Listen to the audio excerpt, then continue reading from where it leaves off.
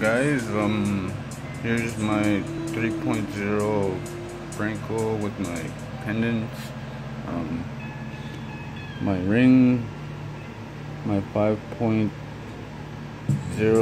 Cuban, um, my 5.5 flat curb, my 3.2 um, Cuban, my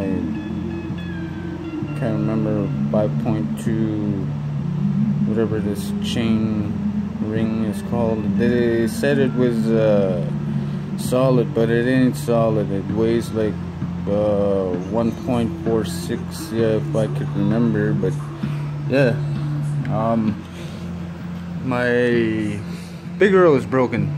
Me and my brother were drinking one night, and yeah, you know the story. He ripped it off my neck. Um, yeah, but no charges, no bruises. Well, yeah, he got a shut eye, and yeah, that was that. But other than that, yeah, that's my jewelry. Um, yeah.